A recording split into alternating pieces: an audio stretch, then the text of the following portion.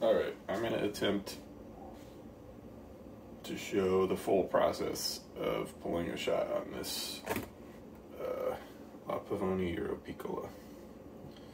So, very beginning, I have a two switch model because mine doesn't have a pressure stat. So, make sure both boiler heater elements are on.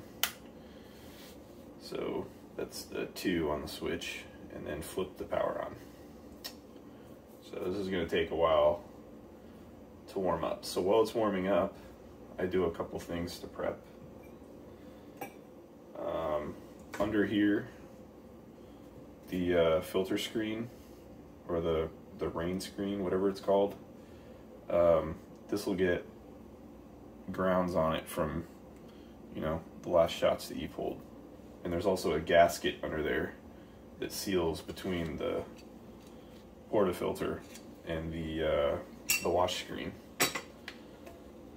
So I'll just take like a crappy old toothbrush and go around the outside of it just to dislodge any of that. And then just a microfiber cloth and just give it a quick little wipe so all the grounds, there's no more grounds on it.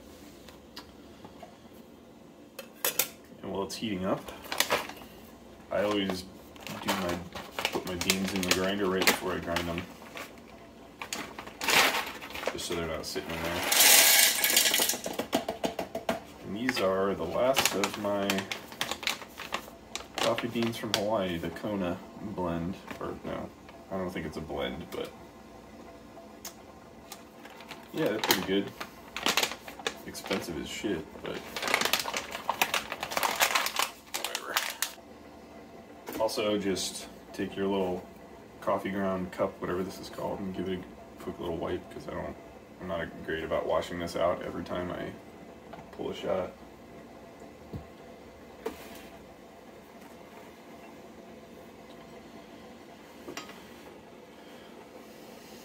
So, again, mine doesn't have a pressure stat built in, so it doesn't shut off automatically. The only thing to limit the pressure in the in the tank is the ball valve, uh, the pressure release valve, and my pressure release valve let it get to about um, I think it gets about to 10 psi which is about 0.7 0.6 bar. Um, so once it hits there you'll hear the pressure release valve just it'll just be stuck completely open because there's so much pressure in there um, and that's about the right temperature, six bar, 0.6 to 0.7 bar, I feel, um, where the water is the right temperature to get a good extraction on your shot. Um, I'm not grinding my espresso yet because if you can see on here, I don't know if this focus is right, but um, there's a little bit of leftover coffee um, that dried to the bottom of this whatever this is called, dosing cup. I don't know. And so what I do is I just wait for this to come up to temperature a little bit, and then I'll spray the steam on on the bottom just to rinse it off. So if you do have a machine with a pressure stat, um, it's not it's it's a bit trickier to tell when it's fully at pressure by sound. Um, so you'll just have to look at your pressure gauge if you have one, and see when it's pegged at whatever target pressure you have it set for. Or you can hear the boiler click on and off too with one of those pressure stat machines. But mine, you can hear when it's at full pressure because it just starts spurting steam out of the out of the uh, pressure release valve, which honestly is kind of nice because I can go do other things and wait for it to heat up and then I know when it's ready. One of the problems that you get into with these machines if you let them get too hot is they'll you know theoretically with the pressure stat um, it keeps the boiler temperature at the right temp but that doesn't prevent the group head from getting overheated necessarily. So the water might be the right temperature but it keeps feeding heat into the group head and there's nothing to there's nothing to keep the group head cool so um, once this group head gets too hot, you're basically screwed. You have to you have to turn the machine off and let it cool down, or you can get like a wet rag and try to wrap it in it, or sometimes purging a little bit of water through it will cool it down a little bit. But my in my experience, it doesn't cool it enough, and it keeps it still stays way too hot. So Pavonis are hard because they're really unforgiving, and once this group head again gets too hot, that's I mean you, it's basically only good for one shot, um, and then you gotta let it cool, which might take 15, 20 minutes, and then you can pull another shot.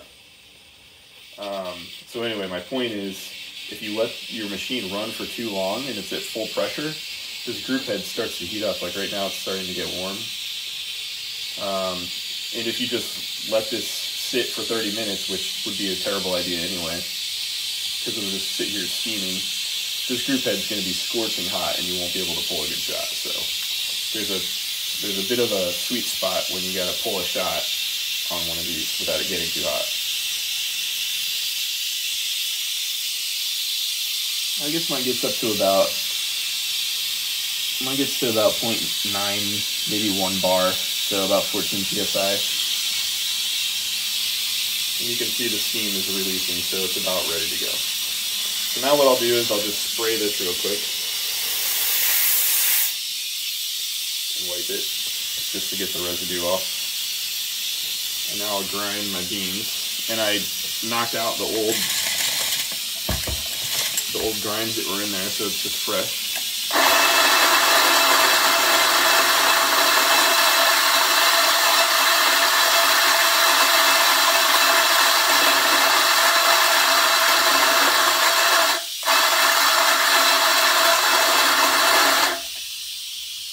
I do. I get my porta or my coffee ground thing over overflowing just a little bit, and I just take my finger and kind of level it off gently. I'm not pressing it or anything. I'm just leveling it, and my my rubber mat is being cleaned. But then what I do, and this you know, technically isn't the best way to do it, but I don't have like a grind disperser thing or whatever, so I just give it a couple taps like this to kind of settle everything. Make sure it looks pretty even. And then I'll tamp it. So you can see it's maybe got, I don't know, six millimeters of gap there. And I'll take my tamper and I run my fingers kind of around the edge of it and just feel the evenness as I push down.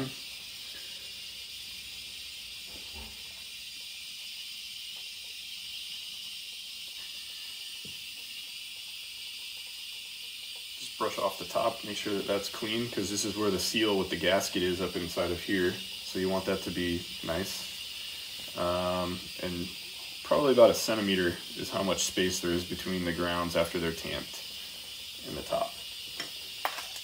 And so I turned this switch down to the just one boiler because I wasn't quite ready for it yet and I didn't want it to be blasting hot.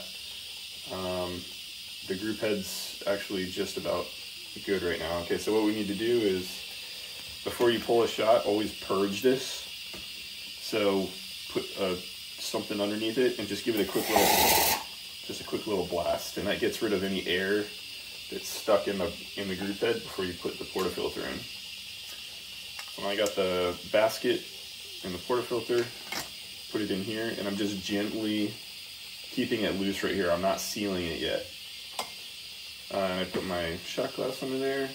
And the reason for this is because um, we don't want to seal yet. What we want to do is we want to keep that that coffee ground bed nice and compact. And when you on a Pavonia on a lever machine, as soon as you lift this lever up, there's suction happening in there, and it'll, it'll disrupt the uh, the ground bed. So if this is sealed, it might suck up some of the grounds and kind of um, mess up the bed. So what we want to do is we want to keep it loosely in there. There's no water in yet. The water goes in about I don't know 75% of the way up. So we pull it up a little bit like this just before the water comes in, and you'll get the hang of that. And then we lock the portafilter in like that. So there's just a little tiny bit of suction left over. And then what we'll do is we'll pull it all the way to the top and start counting. One, two, three, four, five, and it's pre-infusing. And about five, I start gently pulling down just to get a little bit of drips coming out.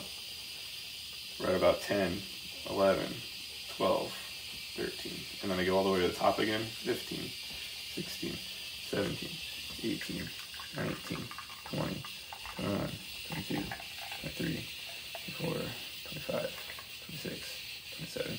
And you see my, I always have a problem with this, but um, I have a problem with my, uh, I get channeling all the time in these pucks, and I think it's just because of, I don't entirely know, but um, depends on the beans and the grind size and uh, all sorts of stuff, I guess. And also, my grinder kind of clumps a little bit when it when it grinds, so I don't have the best track record of not getting channeling, which means that your your puck's not getting fully extracted properly. But anyway, um, that's a shot, and then always give it a quick little mix before you drink it, because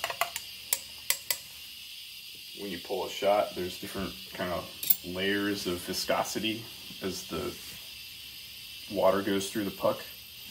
And so it'll be layered in your glass too. So if you mix it up, then you'll get a nice, good, homogeneous shot.